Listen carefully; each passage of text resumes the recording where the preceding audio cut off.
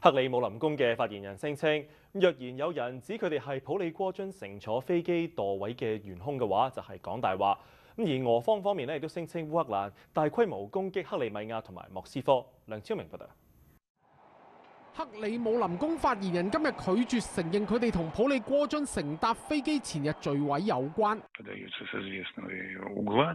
Dmitry Peskov 直言呢個想像本身係絕對嘅謊言。調查人員表示，佢哋已喺現場起出十具屍體。白俄羅斯媒體報導，總統盧卡申科曾警告普利戈津等人小心。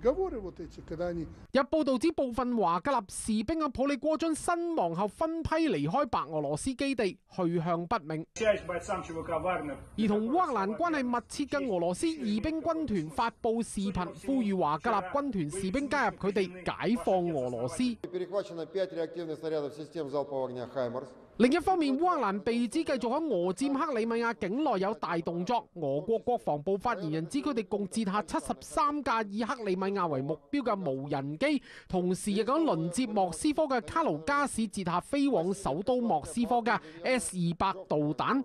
其他消息方面，荷蘭啤酒廠 Heineken 宣布以一歐元價錢出售佢哋響俄羅斯嘅業務。美國宣布將十月開始喺亞利桑那州訓練烏克蘭機師駕駛 F 十六戰機。